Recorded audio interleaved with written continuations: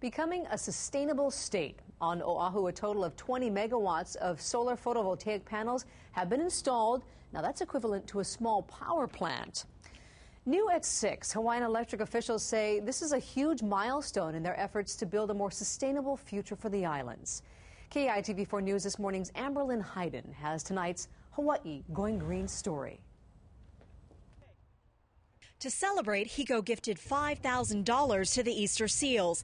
The charity's Punchbowl headquarters is the site of the photovoltaic installation that helped HECO reach 20 megawatts. We are actually able to provide um, almost like a billing credit to these customers so that on the days that they're not using too much energy, it's actually flowing back into our system, into our grid.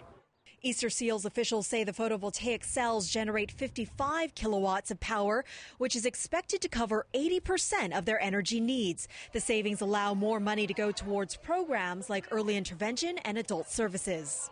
Right now, with the economic hard times, it's really a place and a point where we need to do more with less. And so this allows us to save an enormous amount of money over the course of the next 20 years. We're hoping upwards of a half a million dollars will be saved in our utility costs. HECO says nearly 4,000 customers on Oahu have taken advantage of solar power and the tax incentives that go along with it. Scott Seu is HECO's vice president for energy solutions. He says it's too early to tell if Oahu's power infrastructure can handle everyone having solar panels installed on their businesses or homes. As we look forward to the future, what we're trying to do is figure out how much more, how many more megawatts of PV, keep the program going for our customers, for the developers, uh, while at the same time really looking at the issues of maintaining the grid, uh, you know, reliability.